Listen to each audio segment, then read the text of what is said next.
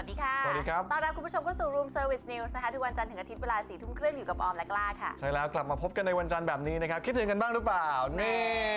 แหมนะฮะอะกลับมาอัปเดตข่าวบันเทิงกันครับ ติดตามในค่ะเฮดไลน์เลยครับน้องชายสุดสงสารปอทฤษฎีสละขาเพื่อรักษาหัวใจ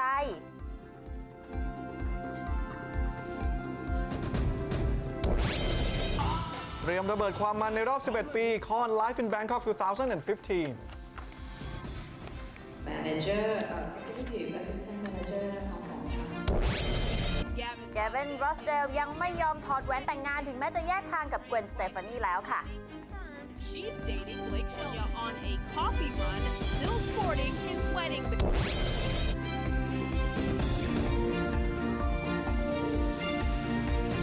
ใช่แล้วนะครับข่าวแรกตาม headline ของเราเลยได้ค่ะนะครับเป็นวงการดนตรีนะครับของวง Korn นะครับที่กลับมา Live in Bangkok อีกครั้งหนึ่งนะครับหลังจากที่หายไปเกือบ11 ปี ตั้งแต่ปี 2004นะนะครับเขาจะกลับมาให้ชาวร็อกนี่ได้เฮกันสนั่นฮอลล์อีกแล้วครับ Fest Promotion Presents กลับมาระเบิดความร็อกในเมืองไทยอีกครั้งนะครับ ในรอบ 11 ปีกับเจ้าพ่อวง Nu Metal นะครับคอน Live in Bangkok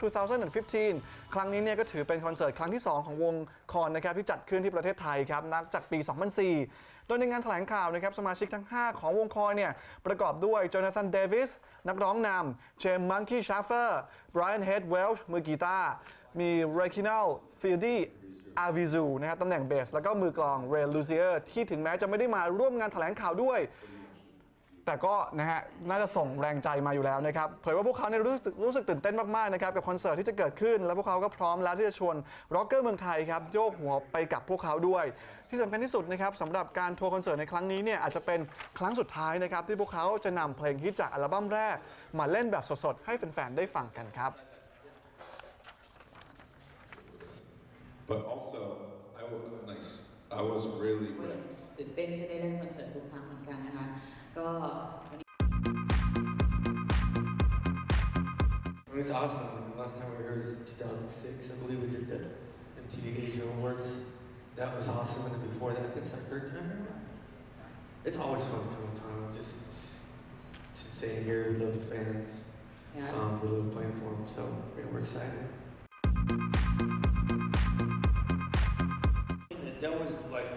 Have their full attention the whole time uh, of the, the concert. They're never looking away. They're not thinking about, maybe I'll go get a beer. They watch the whole time. And I already said that. Um, it's, it's great to have that sort of attention.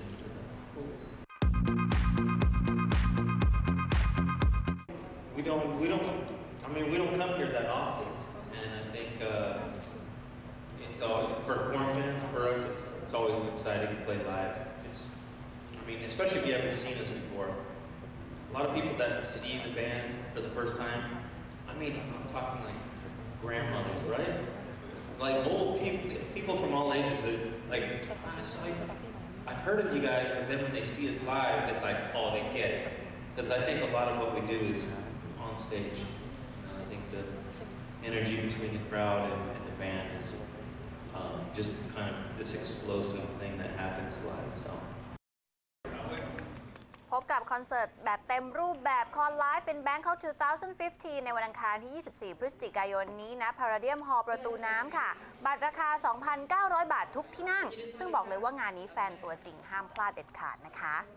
สวัสดีค่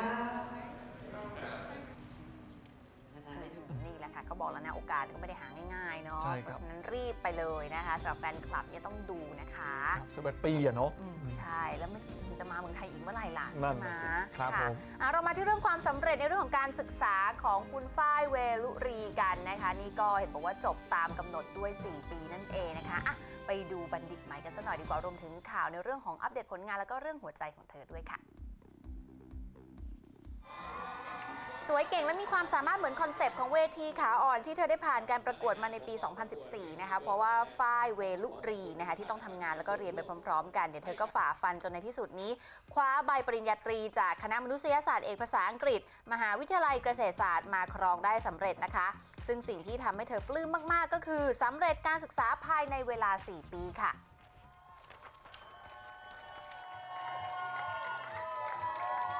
เรียบร้อยแล้วค่ะ สบายใจแล้วค่ะ โล่งไปหนึ่งเปาะเนาะเรียนจบแล้วค่ะ แล้วก็จบครบ 4 ปีค่ะคณะมนุษยศาสตร์สาขาวิชาภาษาอังกฤษค่ะต่อเลยไหมคะเกรดเฉลี่ยไม่น้อยนิดต่ำต้อยมาก2.5 กว่าๆเนี่ยค่ะ เรียนต่อเลยไหมคะยังก่อนค่ะ คงคงหยุดไว้ก่อนค่ะ แต่ว่าเอ่อเรื่องต่อโทก็คิดนะคะ แต่ว่ายังไม่รู้ว่าจะไปทางไหนค่ะ ของขวัญในตัวเองเหรอคะไม่มีอะค่ะ คือตอนนี้ก็เก็บตังค์ดีกว่าค่ะ เก็บไปเรื่อยๆเนาะมันไม่บูดแล้วก็เก็บไว้ได้ค่ะ ให้อะไรเป็นของขวัญพิเศษไหมคะไม่ได้ให้ค่ะจริงๆ จริง ๆ เราต้องเป็นคนให้เขาเนาะเพราะเขาแบบส่งเราเรียนมามาจนแบบว่าจบอะค่ะ จริงๆก็พยายามพาเขาไปเลี้ยงอะไรอย่างงี้มากกว่าค่ะ หนุ่มๆมีเอาอะไรไปให้เป็นพิเศษหรือเปล่าครับ โอ้ยไม่มีเลยนะพี่ จริงๆ คือแบบว่า ส่วนใหญ่ก็จะมีแต่เพื่อนๆเอาดอกไม้มาให้อะไรอย่างเงี้ยค่ะ ถามต่อเรื่องหัวใจนะครับ ทั้งสวยและเก่ง แล้วก็มีความสามารถขนาดนี้เนี่ยทำไมยังไม่มีหวานใจสักที ซึ่งเธอเองก็ไม่มีคำตอบในเรื่องนี้นะครับ แต่ถ้ามีหนุ่มๆคนไหนที่อยากจะเข้ามาขายขนมจีบสาวงามคนนี้ก็พร้อมจะเปิดใจละครับ ไม่เข้าใจอะพี่ ไม่มีเลยไม่มีค่ะ มีก็เป็นเพื่อนกันคุยกันปกติอะไรอย่างเงี้ยมากกว่าค่ะ เราสวยขึ้นอะไรอย่างเงี้ยอืมอาจจะแบบว่าเขาอาจจะคิดว่าเรามีแฟนแล้วหรือว่าอะไรอย่างเงี้ยด้วยหรือเปล่า เราก็เปิดใจอยู่ใช่ไหมครับฝ้ายได้ค่ะ ก็ก็เข้ามาคุยกันถ้าคุยรู้เรื่องก็โอเคค่ะ ถ้าไม่รู้เรื่องก็ก็เป็นเพื่อนกันค่ะ ตอนนี้มีคุยคุยๆบ้างหรือเปล่าครับ ก็ก็มีมาคุยคุยบ้างอะไรอย่างเงี้ยค่ะศึกษาไปเรื่อยๆ เพราะว่าอย่างว่าเราก็เพิ่งเรียนจบด้วยค่ะ แล้วก็อายุ 23 เองค่ะสเปคเราเป็นยังไงบ้างคะจริงๆไม่ไม่เชิงว่ามีสเปคนะคะเพราะว่าถ้าตั้งไว้เนี่ยเดี๋ยวมันจะไม่ได้เนาะพี่เวลาเราเกลียดเราจะได้สิ่งนั้นเนาะแล้วก็อยู่เฉยๆไม่ตั้งดีกว่า เอาเป็นว่าคุยกันรู้เรื่องก็โอเคแล้วค่ะเป็นคนหล่ออันเนี้ยอืมใช่เราต้องเกลียดคนหล่อใช่ไหมคะจะได้ได้คนหล่อกลับมา ย้ำชัดว่าเปิดใจขนาดนี้ขอแค่หนุ่มๆใจกล้าก็รับรองเลยนะคะ ว่ามีโอกาสเข้าไปนั่งในหัวใจของสาวงามมากความสามารถคนนี้แน่นอนล่ะค่ะคืองานเยอะขนาดนี้เนี่ยเราเรียนจบภายใน 4 ปี ผมว่าโอเคแล้วล่ะ เก่งมากเลยนะ คือการครับแบ่งเวลาทำงาน ซึ่งไม่แน่นอนด้วยนะเรื่องของตารางเวลาก็รู้กันอยู่แล้วเออ มันต้องเบียดไปเบียดมาบางทีต้องหายไปข้ามนู้นข้ามนี้เนาะนะครับถือว่าสุดยอดเลยนะครับค่ะมาต่อที่คุณดาวพิมพ์ทองดีกว่านะครับก็มีข่าวเกาเหลาชามโตกับคุณเอสเธอร์นะครับล่าสุดนี้ประเด็นนี้ยังระอุนะฮะยังไม่จบนะฮะต้องเคลียร์กันหน่อยดีกว่านะครับถึงถามเนี่ยต้องถามเจ้าตัวแล้วว่าตอนนี้เป็นยังไงบ้างครับกับสถานะข่าวเกาเหลาของดาวพิมพ์ทองนะครับกับเอสเตอร์ยังระอุนะครับเพราะว่าหลังคู่เพื่อนรักเนี่ย unfollow Instagram กันไปนะครับเอสเตอร์ก็ได้ให้สัมภาษณ์คนแรกว่ากดผิดเรายังรักกันดีอยู่นะครับ ล่าสุด True Inside HD นะครับมีสัมภาษณ์ฝั่งคุณดาวนะครับซึ่งเธอก็ย้ำชัดว่าตอนนี้ความสัมพันธ์ของทั้งคู่เนี่ยยังเป็นเพื่อนกันเหมือนเดิม แม้จะมีการย้ายค่ายเกิดขึ้นครับ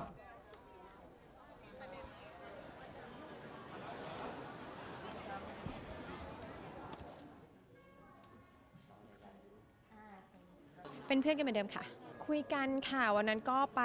ที่อ่าเดินแบบที่จูดิลิเวอร์ก็ได้ทักทายกันนิดหน่อยค่ะได้ทะเลาะอะไรกันเนาะ ไม่ไม่ได้ทะเลาะค่ะ คือไม่ได้ทะเลาะตั้งแต่แรกอยู่แล้ว นี่คือยังแบบยังเล่น Snapchat อะไรกันอยู่เลยค่ะข่าวว่า unfollow กันนะคะ unfollow อันนี้ก็คือต้องไปถามเอสเตอร์แต่ว่าจริง ๆ เราก็ไม่ได้คุยกันถึงตรงนี้ คือเราคิดว่าอ่ามันน่าจะเป็นสิทธิของเขาคือเป็นเป็นเหตุผลของเขาที่เขามีเหตุผลบางทีเขาอาจจะเผลอ unfollow ที่เขาไม่รู้ตัวก็ได้ คือเราก็มองว่าให้มันเป็นเรื่องที่สวยงามไปละกันคิดดีๆไปละกันในเมื่อเราก็ยังเป็นเพื่อนกันอยู่ คือไม่ได้ทะเลาะกันเราก็ยังมองหน้ากันติด แล้วก็ยังพูดคุยกันได้ค่ะ follow กลับมาแล้ว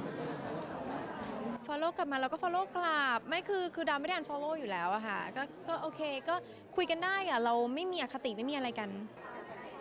ยืนยันพันเปอร์เซ็นต์แบบนี้นะคะ เห็นทีแมงเมาส์เนี่ยต้องรีบหุบปีกด่วนวงการวงการแสดงค่ะ ก็คือเพิ่งเข้ามาก็เลยรู้สึกว่า นั่นนะครับ แค่โซเชียลอ่ามีมีการใช่ unfollow กันเป็นประเด็นใหญ่ขึ้นมาเลยทีเดียว นี่ออมจะบอกว่าออมอะเคยสงสัยมากเลยรู้ป่ะว่า ว่าเขาสามารถเช็คกันได้ยังไงว่าใคร unfollow ใคร มันมีแอปครับ มันมีหรอ เว็บ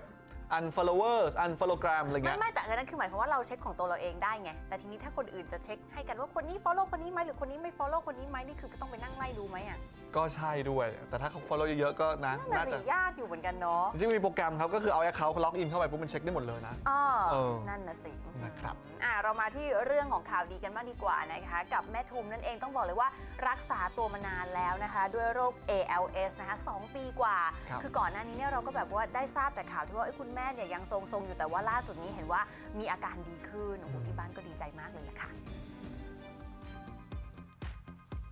เป็นเรื่องน่ายินดีที่สุดนะคะของครอบครัวเขามูลคดีค่ะ เพราะว่าหลังจากที่แม่ทุมปทุมวดีเข้า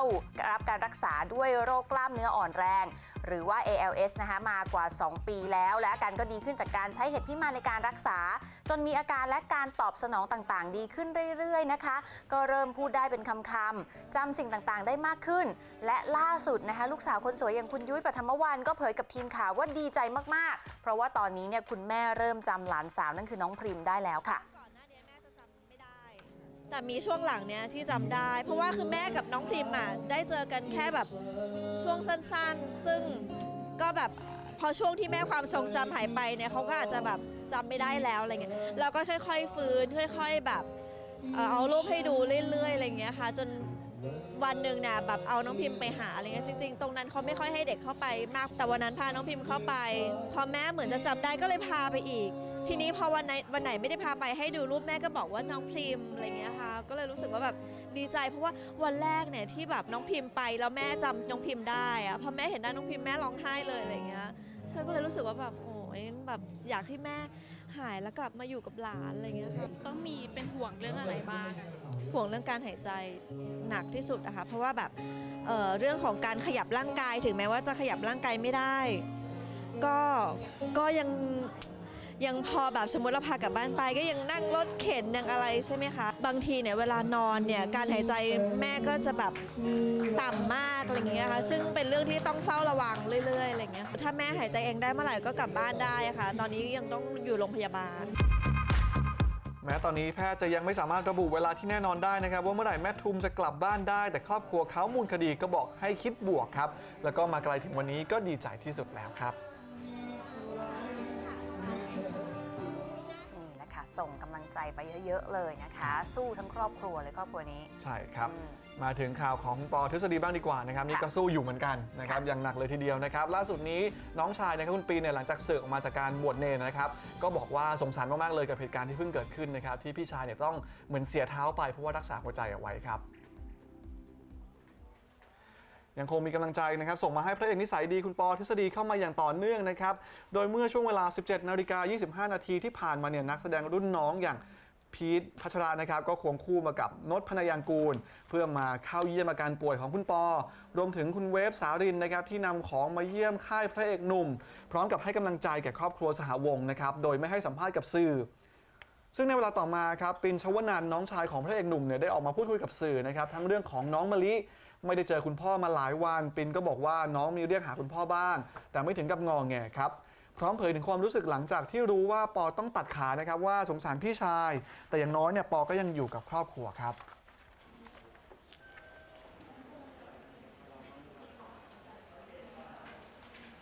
เราก็สงสารไม่สงสารนะครับ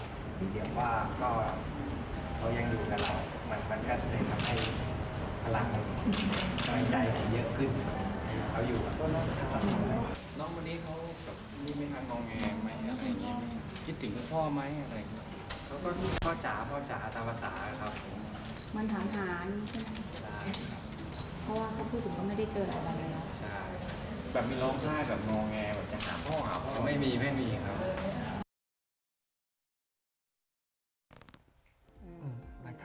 มีการเปิดใจกันไป ถูกต้องกำลังใจจากครอบครัวยังดีอยู่ แล้ววันนี้เราก็มีการรวบรวมภาพนะคะกำลังใจจากทั่วทุกสารทิศเลยนะคะที่ได้มีการเดินทางมาเยี่ยมคุณปอกันกับบรรยากาศที่โรงพยาบาลเป็นยังไงบ้างนะคะไปติดตามกันค่ะ ในชีวิตของคนทุกคน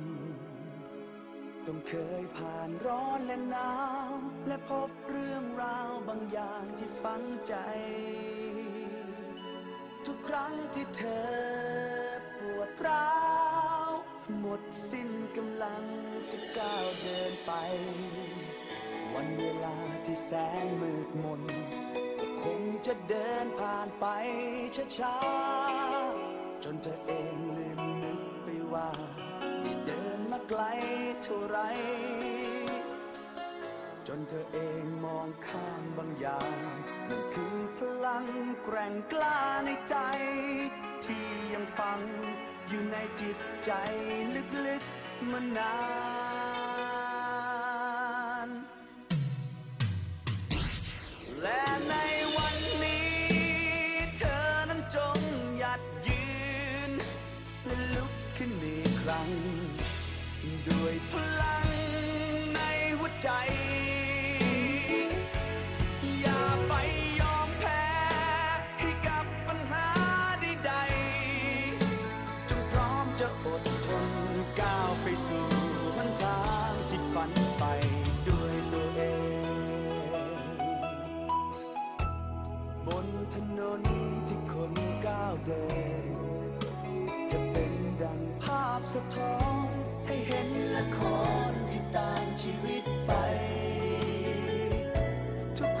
ที่เธอ หมดหวัง หมดสิ้นกำลังท้อแท้ในใจตัวจะมองดูภาพผู้คน ที่อยู่เดียวได้ด้วยความ